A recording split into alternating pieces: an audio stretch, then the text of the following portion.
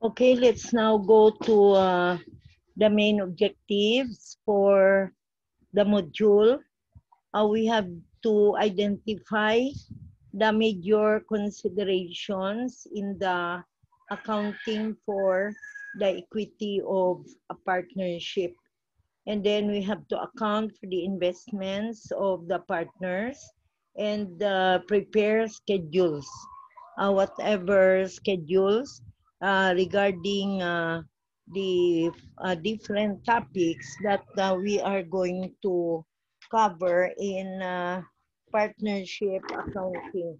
Now, if you have uh, uh, read your book with regards to the topics for partnership accounting, so far we have a lot, uh, including partnership formation, operations, and then dissolution, changes in uh, ownership, and then uh, you have your lump sum liquidation, and the last is on installment liquidation.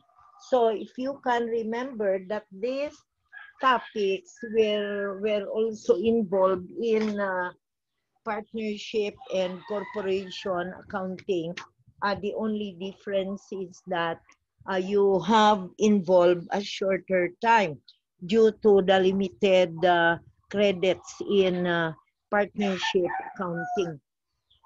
So in accounting for partnerships, the conceptual framework for financial reporting, the standard or the PFRS for SMEs when appropriate are applicable to all reporting entities regardless of the type of organization. Thus, most accounting procedures used for other types of business organizations are also applicable to partnerships. The main distinction lies in the accounting for equity. In addition, the accounting for partnerships should also com comply with relevant provisions of the Civil Code of the Philippines. The major are the following are the major considerations in accounting for equity of a partnership. So we have uh, formation, operation, dissolution, and liquidation. For our purpose, we will divide liquidation into two, the lump sum and the installment liquidation. Now, information, a contract of partnership is consensual. It's created by the agreement of the partnership, which may be constituted in any form, such as oral or written. Uh, we have uh, here uh, the division of profits and losses as to be agreed upon uh, here in accordance with the partnership agreement. Article 1797 of the Philippine Civil Code provides the following additional rules in the profit or loss sharing of partners. If only the share of each partner in the profits has been agreed upon, the share of each in the losses shall be in proportion to what he may have contributed. So if only their share in the profits has been agreed upon. Uh, in other words, uh, there is a different uh, rule that should apply in the case of losses. Losses shall be divided in proportion to what they, he may have contributed, but the industrial partner shall not be liable for the losses. As for profits, the industrial partner shall receive such share as may be just and equitable under the circumstances. If besides his service he has contributed capital, he shall also receive a share in the profits in proportion to his uh, capital. The designation of losses and profits cannot be entrusted to one of the partners. A stipulation which excludes one or more partners from any share in the profits or losses is void. Okay, so one or more. Uh, that is if you have a stipulation which excludes one or more partners from, from any share in the profits or losses is void. In addition, the partnership agreement may also stipulate the following. Salaries. Normally, an industrial partner receives salaries in addition to his share in the partnership's office as uh, compensation for his services to the partnerships. In other words, uh, we have to take note that a partner should always be uh, given salary, especially applying to uh, the managing partner. So that if you have a managing partner, now that managing partner will be given a bigger amount of salaries as uh, to consider the time uh, he is spending in running the affairs of the partnership. So we can say that uh, salaries normally uh, should be given because of uh, the time element involved in the process of uh, running the affairs of the partnership. So we can now uh, consider salaries, no? Then uh, second, aside from uh, salaries, uh, we also have to give bonuses. The managing partner may be entitled to a bonus for excellent management performance. Unlike for salaries, a partner is entitled to a bonus only if the partnership earns profit. The partner is not entitled to any bonus if the partnership incurs a loss. Interest on capital contributions. The partnership agreement may stipulate that each partner is entitled to a per annum uh, interest computed on his capital contribution. So take note that uh, interest should be given and as well as salaries. However, bonuses will be given only if the company earns profit. Now, dissolution. As mentioned earlier, one of the characteristics of a partnership is that it has a limited life in the sense that the partnership agreement can be easily dissolved. Okay, that's why we can say that it has a limited life. Dissolution is different from liquidation. Dissolution is the change in the relation of the partners caused by any partner ceasing to be associated in the carrying on of the business. Liquidation is a termination of business operation or the winding up of affairs. Now, in the case of uh, this solution, you may uh, have this solution if you have to admit a new partner. Uh, or you may have dissolution in cases when a partner will withdraw. And uh, to be uh, admitted is another partner. Now, but you do not terminate the life of the partnership. It will only be temporarily uh, closed. However, it will again continue. So we can say that dissolution is different from liquidation. The fact that in liquidation, you really have to terminate the affairs of the business. Or in other words, you have to uh, see to it that the affair, affairs of uh, the business will be ended And uh, in liquidation, you really have to return the capital of uh, the partners and uh, of course you have to permanently close the business. That's in the case of uh, liquidation, which is not true in the case of dissolution. Because in dissolution, uh, it's only temporary while liquidation is uh, permanent closure of the affairs of the business. So you have to distinguish one from the other. Okay? So we can again think of uh, these uh, different terms in addition to uh, whatever uh, we consider uh, as winding up of the affairs. So winding up may be uh, temporary or it may be uh, permanent. Temporary gani nga uh, winding up of the affairs is uh, called uh, dissolution, temporary na. However, on the other hand, if it's a permanent a winding up of the affairs na, that's the time that you call it liquidation. Okay? So for that purpose, that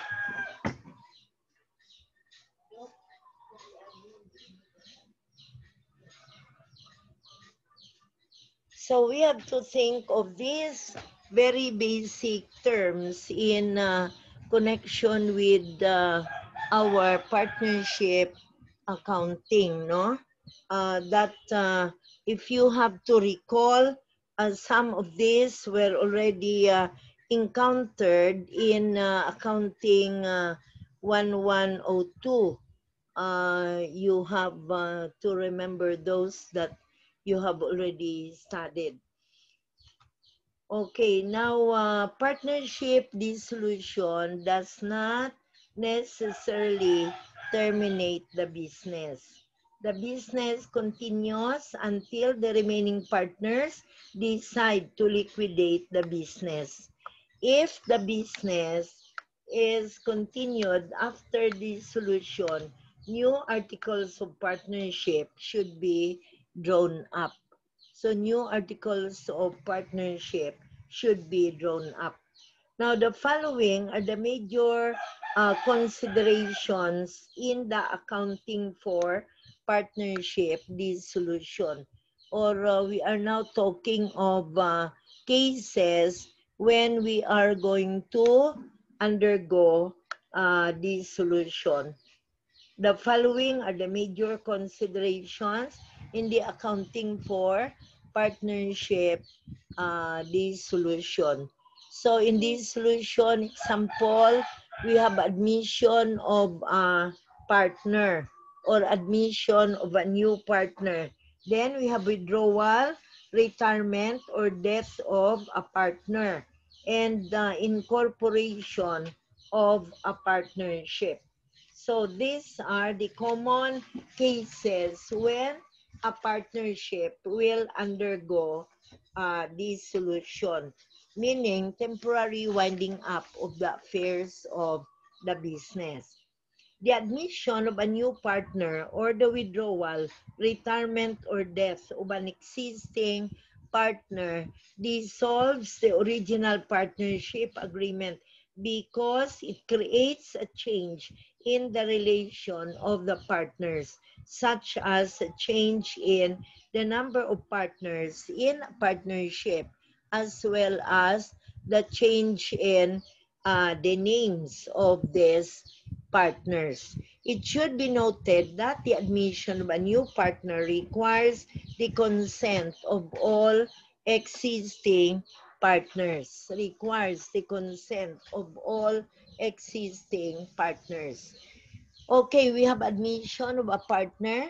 The admission of a new partner may be effected either through A, purchase of interest in the partnership, or B, investment in the partnership. Purchase of interest. A new partner may be admitted when he purchases part or all of the interest of one or more of the existing partners. So meaning there will be simply a change in the ownership from uh, the old name to the new name. And uh, we have now this transaction. It's a personal transaction between and among the partners. As such, any consideration paid or received is not recorded in the partnership books. The only entry to be made in the partnership books is transfer within equity.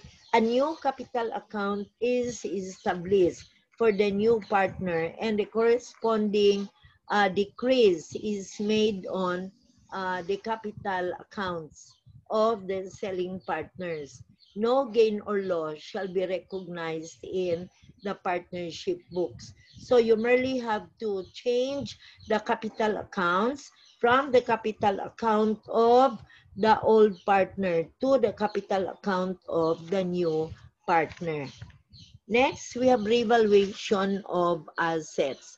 When a partnership is dissolved but not liquidated, a new partnership is created.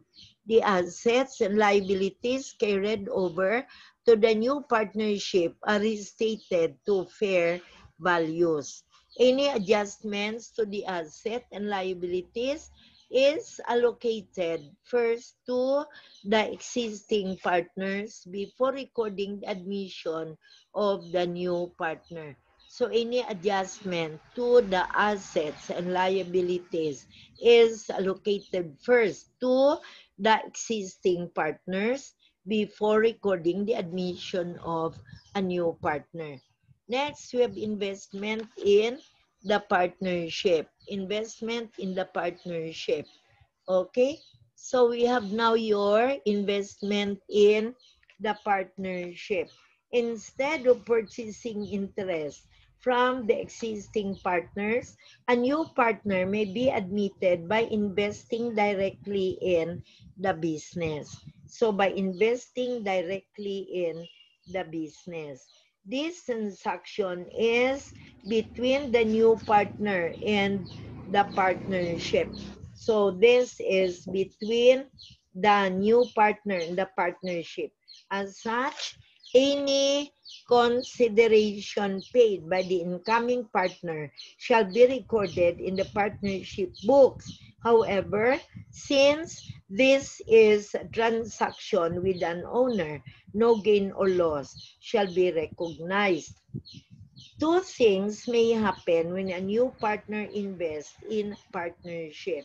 The new partner's capital account is credited to an amount equal to the fair value of his investment or the new partner's capital account is credited an, an amount greater than or less than the fair value of his investment. Okay, now we go to incorporation of a partnership. Uh, reasons for incorporating a partnership, including the following. Uh, here, unlimited, A, limited liability of shareholders. Uh, shareholders are not liable to corporate creditors beyond their investment in the corporation. Is of raising additional capital. Greater capital can be raised from an increased number of owners. It's easier for a corporation to general uh, generate external financing as lenders need not worry about the debt of the partners. C, privacy and confidentiality. Uh, confidentiality, unlike in partnerships, the owners of a corporation are not agents of the corporation. This Dispersion of risk. The risk of loss is dispersed to more owners. Unlimited life. Changes in the relationship of the owners of a corporation do not dissolve the corporation. Transferability of ownership. Transferring an ownership in corporation is made simply by selling one share of stocks. The corporation need not be dissolved when shareholders sell his interest in the business, and better public relations. Many believe that wider ownership of a business results to better public relations. When a partnership is converted into a corporation, the corporation acquires and assumes the assets and liabilities of the partnership in exchange for shares of stocks which shall be issued in settlement of the partners' relative interest. Okay, next we go to liquidation. Is the termination of business operations or the winding up of affairs. It's a process by which the assets of the business are converted into cash. The liabilities are settled and any remaining amount is distributed to the owners. Liquidation may either be voluntary per agreement of partners of a solvent partnership or involuntary. So it may be uh, voluntary or involuntary uh, to the extent that uh, you have a government mandate in case of bankruptcy. You may have a government mandate in case of bankruptcy. In case of bankruptcy. Uh, in the case of conversion of non-cash assets into cash. Conversion of non-cash assets into cash. Uh, the conversion of assets into cash is referred to as realization. So realization. While the settlement, uh, while the settlement of claims uh, or creditors and owners uh, is referred to as uh, liquidation. Okay? However, the term liquidation is used in a broader uh, sense to include entire winding, winding up uh, process, to include entire winding up process. The winding up process starts with the conversion of non-cash assets into cash. As such, the timing of the realization of non-cash assets determines the manners on which the liquidation uh, is carried out. The methods of liquidation, we have two types. One is lump sum. All of the non-cash assets of the partnership are sold simultaneously or within a very short period of time. The proceeds are then used to settle all of the liabilities first and any remaining amount is paid to the partners under a single lump sum payments. Lump sum liquidation is possible when there is a contracted buyer of all the non-cash assets of the partnership or uh, the assets are sold on a package deal basis. Next, we have the installment liquidation. In most cases, it would take some time before all of the assets of business are converted into cash. In such case, the partner's claims are settled on installment basis as cash becomes available but only after all partnership liabilities are fully settled. Now we have this settlement of claims. The available cash of the partnership is used to settle claims in the following order. First, to outside the creditors. Second, to inside creditors, such as payments to uh, partners, so payable to partners. And the third, to owners' interest here we have what we call the right of offset.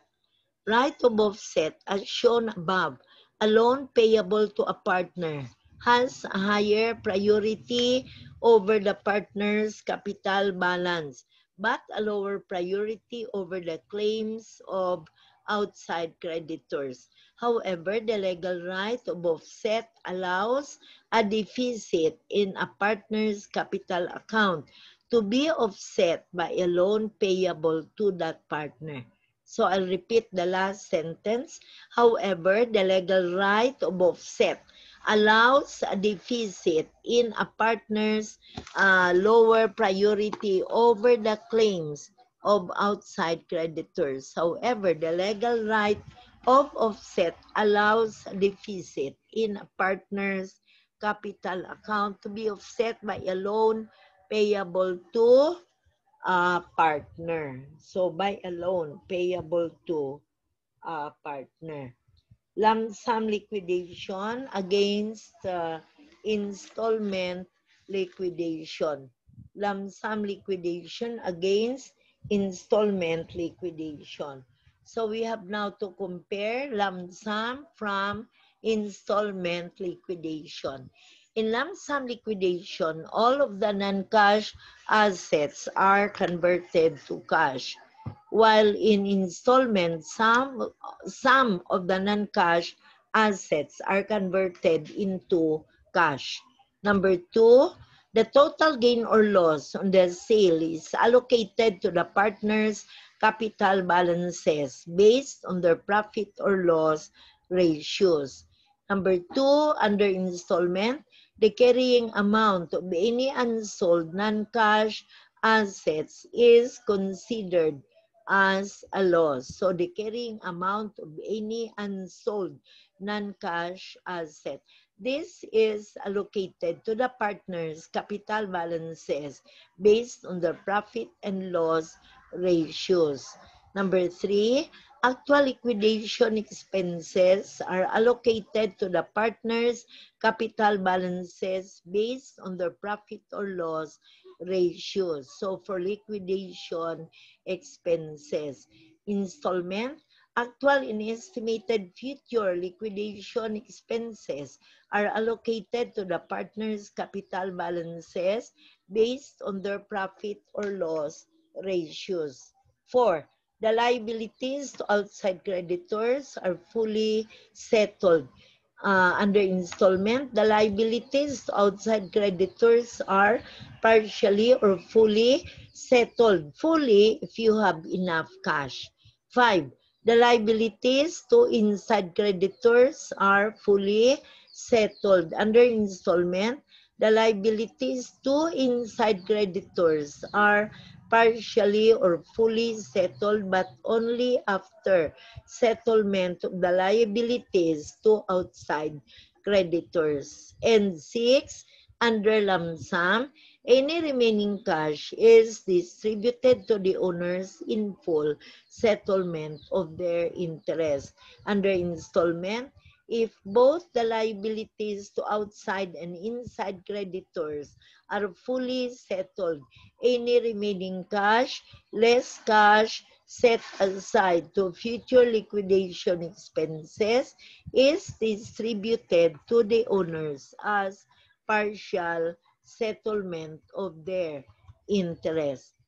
Now we have the marshalling of assets.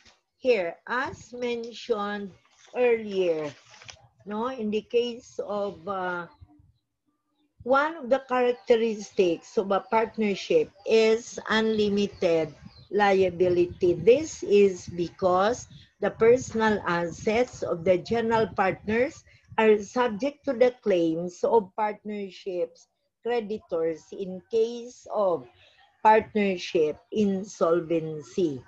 The legal doctrine of marshalling of assets is applied when the partnership and some of the partners are insolvent. So we have the marshalling of assets. The following are the rules when applying this doctrine. First, any available assets of the partnership is used to settle the partnership's liabilities. Second, In case the assets of the partnership are insufficient to pay all the liabilities, the solvent general partners are required to provide additional funds uh, for their, from their personal assets. The claims to the personal assets of a partner shall rank in the following order.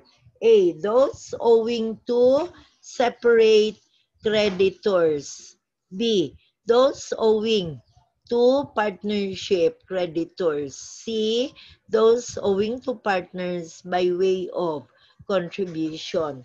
And number three, in case some partners are insolvent or limited partners, their capital deficiency shall be offset to the capital balances of the other partners.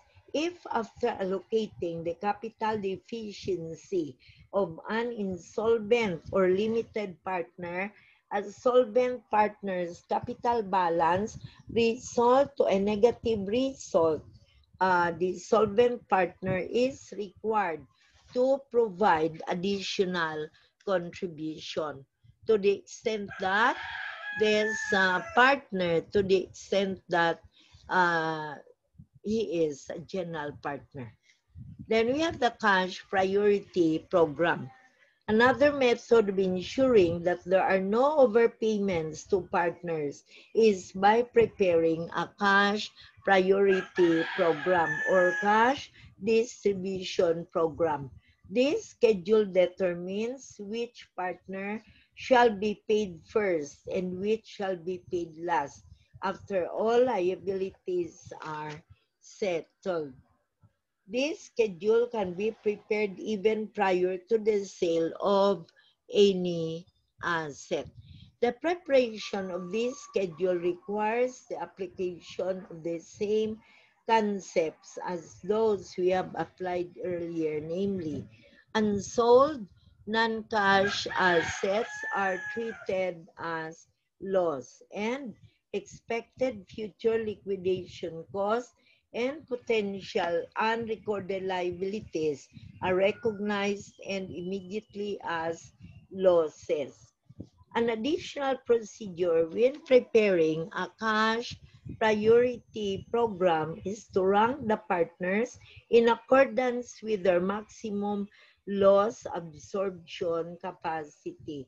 The partner with the highest maximum loss absorption capacity shall be paid first. The partner with the lowest maximum contribution uh, maximum loss absorption capacity shall be paid last. The formula in computing for the maximum loss absorption capacity is as follows. So we have now to divide the total partners interest in the partnership by the prof partner's profit or loss share percentage. So the partner's interest in the partnership as you can find in the balance of his uh, capital accounts before uh, he considers an absorption capacity. Okay, so we have this uh, found in our module. However, we have uh, so many chapters that will be covered by uh, partnership and we have to take them up beginning with chapter uh, 17. In chapter 17 now is for uh, our partnership formation. Uh, my module uh, prepared is already a complete set uh, beginning from formation up to uh, in other words, all that we have to do now is continue taking up the chapters in uh, accordance with their arrangement in the book. So we now begin with the partnership uh, formation as found in uh, chapter 17. We have uh, straight problems. And then after the straight problems, we will involve uh, the limited uh, multiple choice problems. Not so many, unlike in other chapters. And then we have also your uh, theory to be completed in chapter 17. So probably tomorrow, I will still continue with chapter 17 and move on to uh, chapter 18. So by Wednesday, uh, we can begin with uh, chapter 9.